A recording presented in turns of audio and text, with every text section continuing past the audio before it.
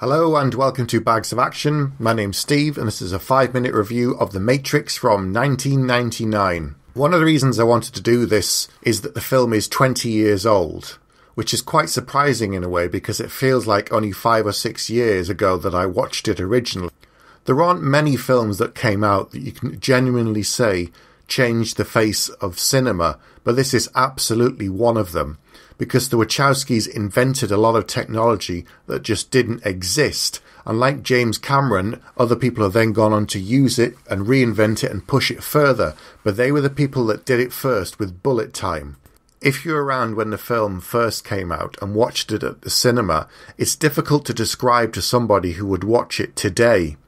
It was one of those rare moments where I came out of the cinema, stared at my friend, and asked him what just happened we'd seen a couple of trailers and we went in not knowing very much about the film. And when we came out, our minds had been completely blown by the experience. Normally, you might watch a film and then have a short chat with somebody afterwards, but this was something like an hour's conversation. We were trying to unravel not only what we'd seen, but how they'd done it because we'd never seen anything like it before on the big screen. For those who haven't seen the film, the story is about a man called Neo who's living in a world that doesn't feel right.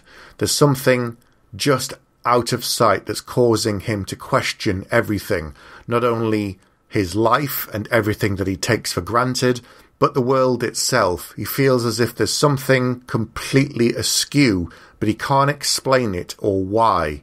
As the film goes on, you begin to understand what the nature of the problem is with the world, which then leads you into the Matrix. Thereafter, the film becomes an extremely high octane action thriller full of amazing special effects. The cast is outstanding. The CGI, whilst it might not be up to par from what we've seen today, at the time it was cutting edge and it was absolutely astonishing and really amazing to see on the big screen. The fight scenes would often start out quite ordinary and then they'd progress or somebody would suddenly break the laws of gravity and you didn't understand at first how it was happening or why and our minds were constantly being blown by this film. Around the time that they were making it, they auditioned and spoke to lots of different people to be in the lead role.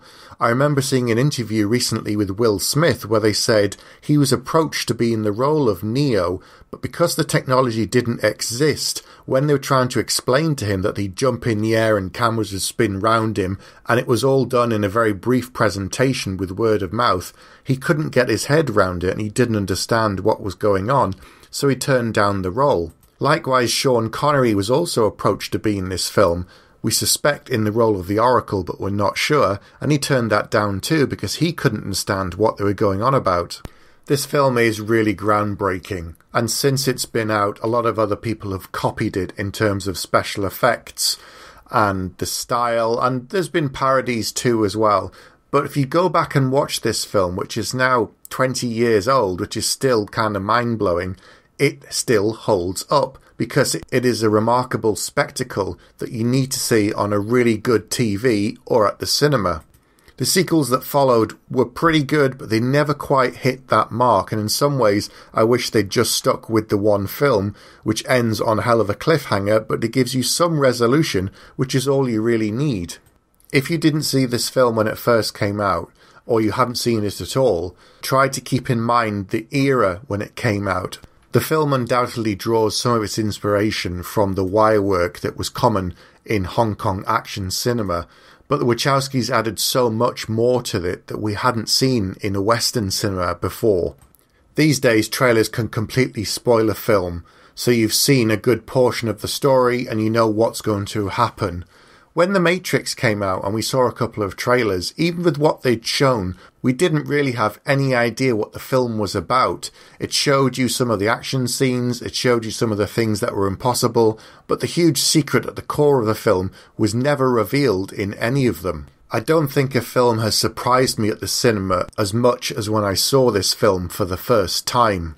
Watching again after 20 years, I'm struck by not only the way that the film looks, but also the sound and the soundtrack as well. The colours in the film are amazing, the costumes, all of the weaponry and the special effects overall, it's just an outstanding film, and I'd have to give it a maximum 5 out of 5 bags. If you haven't seen The Matrix, then I highly recommend you watch it as soon as possible and consider seeing the second two films if you really want to see more, but they're nowhere near as good, in my opinion. So if you've seen The Matrix, get in touch and let us know. You can contact us by Facebook, Twitter, or email.